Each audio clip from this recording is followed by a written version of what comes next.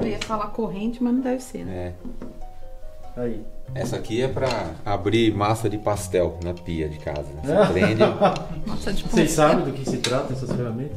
Hum, nem faço Não. ideia. Nada. Essa aqui. E essa aqui parece uma bomba, né? Eu ia Encher- falar, mas não faz sentido, né? Não é. Nó. Pronto, aí já dá pra gravar o vídeo, porque ninguém sabe do que, que se trata qualquer ferramenta dessa aqui.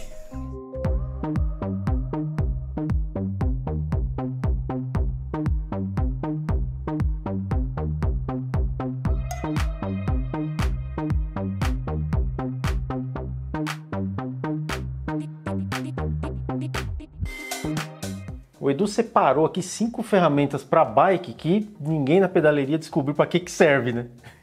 É, e não é só o Fê que tá curioso, não. Você também deve estar. A maioria dos mecânicos de bike, só de bater o olho nessas ferramentas, já deve saber para que, que elas servem. Mas, claro, tem alguns que podem não saber, porque algumas são raras e nem estão sendo usadas mais atualmente. E aí, Fê, sabe para que, que é essa aqui? Cara, acho que é para fazer macarrão parafuso. Não, isso aqui é um torno, por incrível que pareça.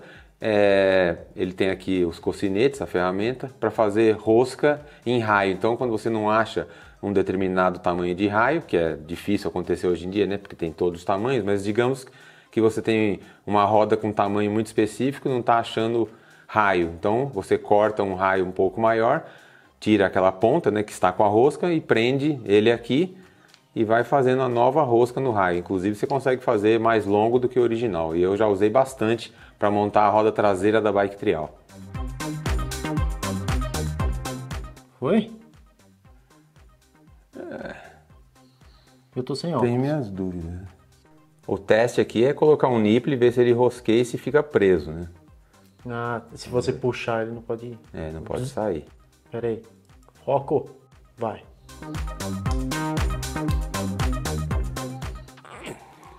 Fez a rosca. Da hora. Agora essa aqui, Fê, com certeza você não vai saber. É, Tem alguma mim- ideia? Pra mim, isso aí não é pra usar na bike. Parece o periscópio espião, lembra que tinha antigamente? Esse não é o descoisador de coisa torta. Esse é um faceador de suporte de freio no quadro ou no garfo. No caso aqui ele está ajustado para garfo, né? Que você pode trocar essa parte aqui e pode usar uma mais larga para fazer a mesma coisa no quadro. É, vou explicar para que, que serve. Quando a gente monta uma pinça de freio no suporte, né, no garfo ou no quadro, e ela já está toda para dentro, né? Você puxa ela contra, contra o suporte do quadro, a pinça está toda encostada e mesmo assim o disco ainda está encostado na pastilha do lado de dentro. Ou seja, você gostaria de puxar a pinça mais para dentro ainda, mas o quadro não permite. E é um ajuste às vezes de, de menos de um milímetro, né? uns milésimos ali que você tira. Então esse é um faceador. Aqui na ponta é uma fresa manual, então é, essa parte mais fina entra no furo, né, onde você prende a pinça, e você vai rodando e vai saindo aquela fatia fininha de alumínio. Tira a tinta, depois vai tirando alumínio. Faz espécie de um rosbife de alumínio, tira uma, uma folhinha de alumínio. Você anda com ela aqui e troca de posição, né? Porque o suporte de freio tem dois furos, então Ah, faz o de certo. cima, faz o de baixo e resolve esse problema. Dá pra mostrar aí como faz? Dá, É nada melhor do que mostrar como é, Edu, porque eu. é, só de falar assim, né, muita aqui. gente pode não entender também. É. Ah, tá. Vamos ver Edu tirar um bife do suporte. Vamos ver se ela estiver bem afiada, ela vai cortar bem. A gente consegue ajustar até quanto quer tirar, né? Se você sabe qual é o valor, você pode pegar um paquímetro, encaixar aqui e deixar ela ajustada para ela parar nessa posição.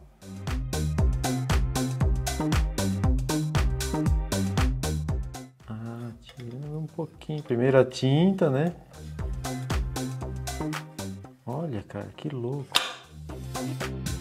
Eu vou falar que ele, inclusive, corrige o ângulo, né? Se estiver errado. Não, você não precisa falar não, já falou. Tava gravando já.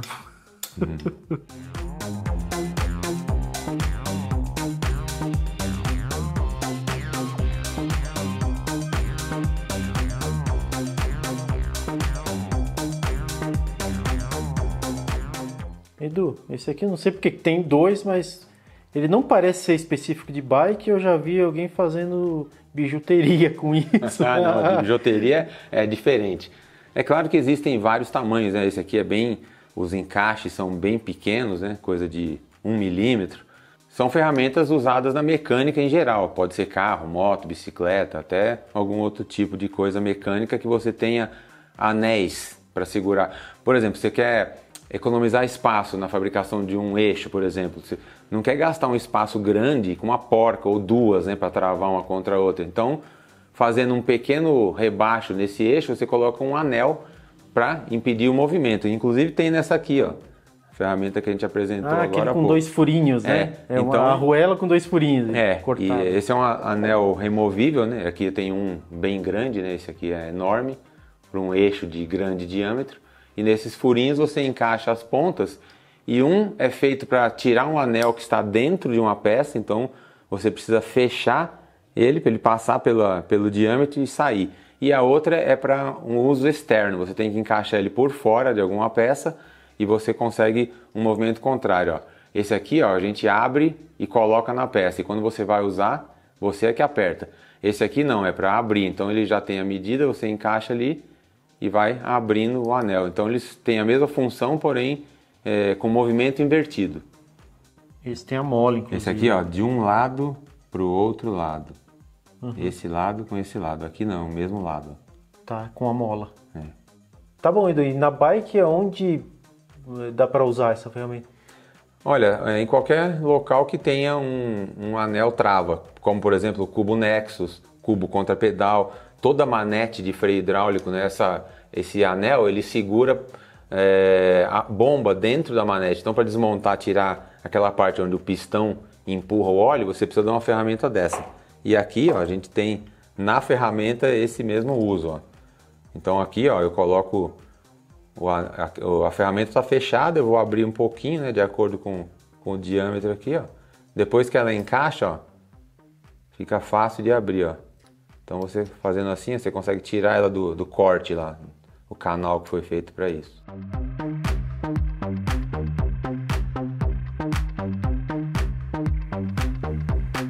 Edu, esse aqui pelo nome, ó, tem a ver com roda. Mas eu, eu usei um negócio desse parecido na fisioterapia outro dia. Assim. Ou na academia, né? Pra fazer Isso, é. Exercício. E, mas tem a ver com roda mesmo, né? Isso aqui é para ver a tensão dos raios da roda, se elas estão se os raios estão todos apertados na mesma tensão, porque uma roda com desequilíbrio, um raio solto, outro muito esticado, ou seja, o nipple muito apertado, é uma roda que pode estragar facilmente. Né? De repente você pega um buraco bem na, naquela parte que o raio está menos tensionado. A roda está centralizada, mas só que devido ao esforço para colocar o aro na posição que você quer, tirando o pulo e o lateral, pode ficar um, um raio muito mais apertado que outro. Isso é comum. Então, com esse aparelho você verifica né, a, a tensão do raio. Tem aqui um gráfico e tem é, essa ferramenta vem com uma tabela que dá para você a proporção, né? De, de, acordo com a indicação marcada Essa aqui, escala aí. equivale a que, que aperto, né?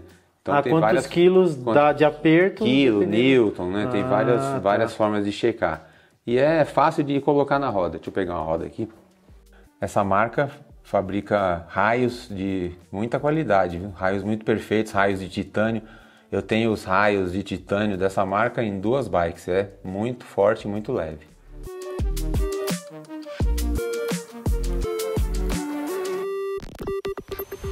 Eu coloquei a ferramenta e ela está indicando aqui um pouco depois de 50, né? entre 50 e 60, que na tabela você vai achar o equivalente em quilograma força. Então vamos ver um outro raio se vai dar parecido. Aqui ele está afastado dos 50 indo em direção aos 60. Vamos ver.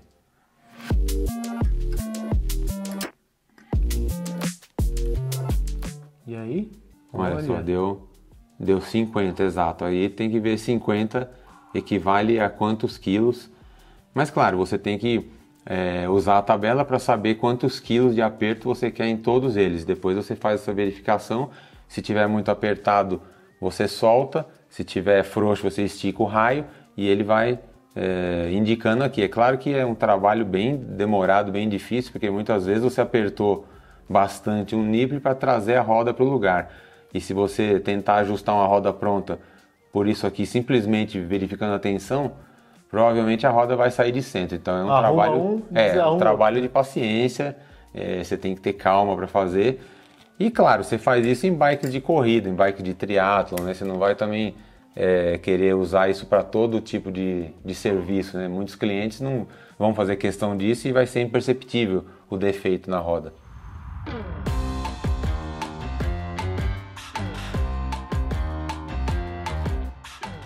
Edu, agora pega essa última aí, porque realmente, cara, parece uma bomba de ar, mas olhando de perto dá pra perceber que não é. Essa aqui é que o coiote usa para tentar explodir o papaléguas, né? Para explodir dinamite. Aquelas bombas ali. É Põe verdade. no chão e... É, na verdade aqui não tem movimento, né? Uma rosca, você consegue rosquear e desrosquear. Essa é uma ferramenta para sacar a pista da espiga do garfo, né? Aquela pista de baixo que vai bem encaixada no garfo, realmente é bem difícil de tirar. Pista é aquela ruelona, né? É, a pista é onde os rolamentos se apoiam, né? No garfo tem, tem a pista superior, que fica solta, você coloca por último. No caso do headset, ela é totalmente solta, né? É aquele cone é, que tira a folga, mas embaixo ela fica socada mesmo na espiga, até lá embaixo. Eu tenho aqui um, um garfo, uma suspensão, na verdade, né? Tá com, tá com a pista encaixada aqui, para tirar essa pista, essa pista é muito difícil, né? Muitas vezes você não, não consegue, começa a usar chave de fenda, estraga tudo aqui o encaixe, então... Mas você já fez vídeo mostrando como tirar né, Isso. sem a ferramenta. É, eu gosto de usar aqueles pequenos pedaços de uma serrinha quebrada, né? Bem afiado, igual faca, você coloca uma nesse canto e bate, ela entra. Coloca a segunda, a terceira e vai tirando, né? Ou usa esse tipo de ferramenta. Explica aí, Edu, como é que funciona. Olha só, essas duas chapas aqui são super afiadas, né? Ela, ela tem um ângulo incli- inclinado para dentro, então, ó, é como um fio de faca, é um contato muito fininho que consegue entrar aqui embaixo da pista, né? Entre o crown e a pista, nesse pequeno canal, e aí você aperta aqui, deixa bem ajustado e depois naquela manivela lá em cima você vai apertando, ela vai puxando para cima.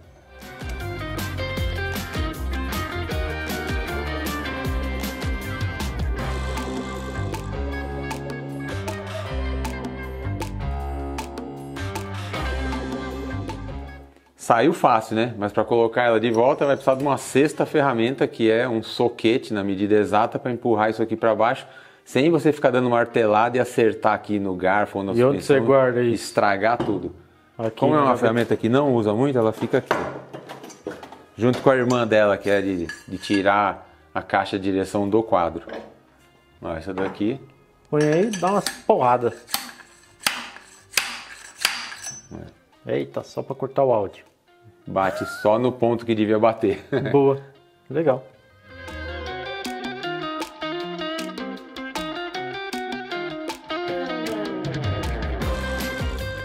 Pô, Edu, então valeu, meu, por ter explicado, mostrado em detalhes aí como usar essas ferramentas. São cinco curiosidades mesmo. E aí, quando essa sumir, eu já sei que tá com você. Isso, tá tá fazendo exercício. nhe, nhe. Boa. Eu espero que o pessoal tenha gostado também de aprender mais um pouquinho sobre as ferramentas que se usam na bike. São ferramentas diferentes, né?